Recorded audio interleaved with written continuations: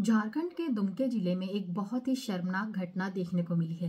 यहाँ फ़र्स्ट मार्च को एक स्पेनिश महिला के साथ सात लोगों ने मिलकर गैंगरेप की घटना को अंजाम दिया। ये कपल वर्ल्ड टूर के लिए बाइक पर निकले थे और अब तक 63 कंट्रीज़ घूम चुके हैं। ये घटना उस वक्त घटी जब कपल वेस्ट बंगाल से नेपाल की ओर ट्रैवल करने के लिए एक रात पहले कुमराहाट गाँव के पास सुनसान इलाके में अपने टेंट में आराम कर रहे थे। महिला एक ब्लॉगर है और उनकी उम्र 28 वर्ष बताई जा रही है।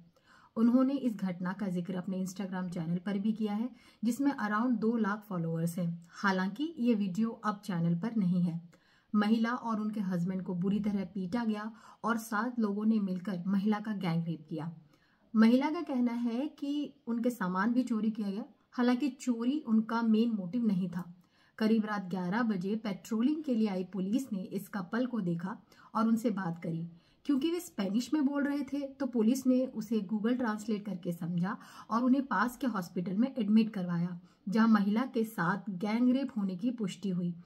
इस केस में अब तक तीन लोगों को गिरफ़्तार कर लिया गया है, मगर चार लोग अभी भी फरार हैं। महिला को कंपनसेशन के तौर पर 10 लाख रुपए भी दिए गए हैं और आरोपियों पर सख्त कार्रवाई करने की मांग भी की जा रही है। इस केस में आगे क्या होगा, ये तो नहीं पता, मगर कुछ आंकड़े हैं जो दिल दहला देने वाले हैं। आइए उनके बारे में जानते हैं। एनसीआरबी की रिसेंट 2022 की रिपोर्ट के अकॉर्डिंग इंडिया में हर दिन 90 रेप्स रिपोर्ट हुए, यानी हर 18 मिनट में एक वुमेन का रेप सबसे ज़्यादा केसेस रिकॉर्ड किए गए राजस्थान में, फिर उत्तर प्रदेश में और फिर मध्य प्रदेश में। ये वो केसेस हैं जो रिपोर्टेड हैं। इसके अलावा काफ़ी केसेस ऐसे भी हैं जिन्हें रिपोर्ट किया ही नहीं जाता। हम ऐसा बिल्कुल नहीं कह रहे हैं कि इन स्टेट्स की गवर्नमेंट रेप जैसे क्राइम के लिए कोई स्टेप नहीं ले रही है।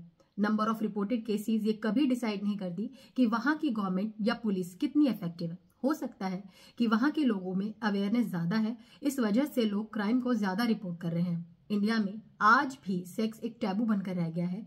कोई इसके बारे में खुलकर बात नहीं करता। आपकी इस न्यूज़ पर क्या राय है, मुझे कमेंट सेक्शन में बताएँ।